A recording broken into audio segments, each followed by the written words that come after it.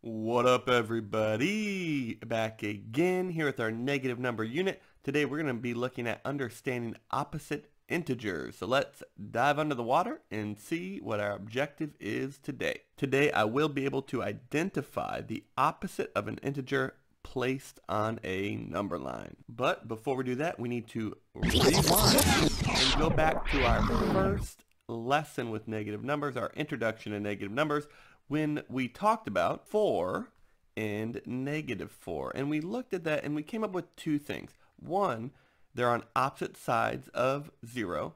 And two, they're the same distance away from 0. They're both 4 units away from 0, just one's to the left and one's to the right. And we thought to ourselves, these look like opposite numbers, right? Because of those two things. And in fact, they are. They are considered opposite integers. In fact, our entire number line is made up of integers and their opposites. Except for 0, 0 is its own opposite, but we'll get to that a little bit later. So let's take a look at 1 and negative 1, right? They're both on opposite sides of 0, and they're both one unit away from 0, so we would consider 1 and negative 1 to be opposite. Same thing with negative 2 and 2. Our integer 2 is 2 units away to the right of 0. Our integer negative 2 is 2 units to the left of 0, and they're both on opposite sides of 0. So we would call these opposite integers. Same thing with negative 3 and 3, and of course negative 4 and 4. And even if you did 1 million and negative 1 million, they'd both be on opposite sides of 0, and they'd both be 1 million units away from 0, so you could consider those opposite. This leads us to our key thought for today's lesson. Key thought number one, numbers are opposite if they meet these two requirements. They are on opposite sides of zero and they are the same distance from zero on the number line. We just looked at a couple examples of that. And number two, the negative sign can mean to do the opposite right? When we first introduce negative numbers, we introduce the negative sign as being directional, as telling you to move to the left of zero. Well, another meaning, and it doesn't change the original meaning, is that the negative sign can mean do the opposite. And that makes a lot of sense. If you wanted to do the opposite of positive 8, then you would do negative 8, and you'd be moving to the left of 0. So it doesn't change our original definition of the negative sign being directional but it adds another layer to it. Our I do problem says plot these integers on the number line right here and then plot the opposites, connect them with a line, okay? And so our first integer is 10, so it's a positive 10 because it doesn't have a negative sign. We make the inference that it's positive. And if you look down here, you can be real careful that you always look at the scale or the intervals of the number line because here we're not counting by 1, we're counting by 5. So positive 10 would be 10 units to the right, and we would put that dot right here. Now the opposite of positive 10 would be negative 10, right? It's the one on the opposite side of the number line and the same distance away from zero.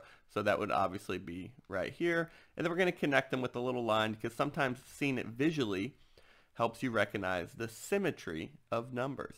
Now our next integer is negative 15. So we want to do 5, 10, 15, negative 15 right here. The opposite of negative 15 would be positive 15, right? So it's really not that hard, but it's a concept a lot of people don't think about, and it's going to be really helpful as you get deeper into negative numbers, understanding negatives and positives and the opposite. So our positive 15 is right here, and then we're going to connect those with a line. Then we have negative 30, and our opposite for negative 30 would be positive 30. Okay, so I'm going to plot that one right there and we're going to connect with a line and our symmetry might not look as good the farther we get because I'm not an artiste but I'll do my best. And then we have positive 40 which is going to be to the right of 0 and then the negative 40 would make it an opposite.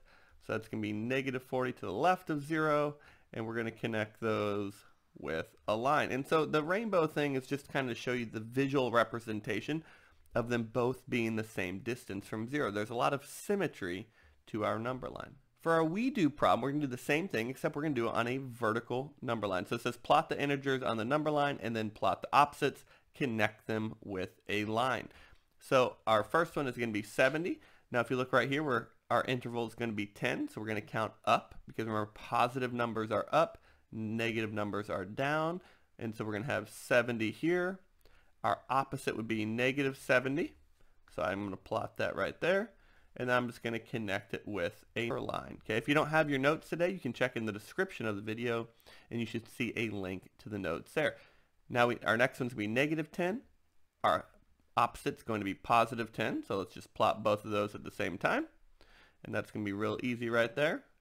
Our next one's going to be 50 and negative 50. So I'm going to count up for positive 50, count down for negative 50, and I'm going to connect those. Okay, there we go, a little bit harder here.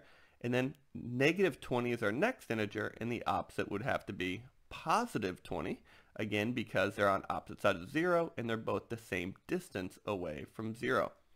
Understanding this concept is really going to help you when you get to adding and subtracting across 0 in our later lessons because we're going to be doing a strategy called making a zero and recognizing opposites is going to be a huge part of that. And then here we have a you try problem. So if you haven't been with us before, U-try problem, you can go ahead and pause the video, try the problem, and then push play to check your understanding. If you're not ready to try it by yourself yet, you can do it with us as another we do problem and just copy them down in your notes as we do them. Hopefully you just paused it and you tried it by yourself. Let's check your mastery. So it says write the integer that represents the opposite of each situation. Well, the first thing we have to do is write down the integer for the situation. So it says 100 feet below sea level. That's going to be a negative 100. So the opposite of negative 100 would be 100 feet above sea level, a positive 100. All right a credit of $13. That's going to be positive 13 because we're going to be depositing money into our bank account, which is, means the opposite would be a debit of 13 or negative 13. 46 degrees Fahrenheit below zero. Okay, my key thing is below here. So I'm going to be negative 46, which means my opposite would be above zero, which would be positive 46. And then here we have a debit of, of 17, which is going to make this a withdrawal of 17, a negative 17 because I'm taking money out. And the opposite would be a credit of 17 or a positive of 17. So going back and just reviewing some of our real world situations that we're going to have to deal with negative numbers later in our lessons. As always, thank you so much for checking us out today. We know there's a lot of different options on YouTube. We would love for you to like, subscribe, and comment on the video. Let us know where you're watching from. We have a lot of people watching from Canada, which is awesome. Thank you so much. Check out our negative numbers song and the rest of our negative numbers playlist. We appreciate you. Thank you again. InstructaBeats out.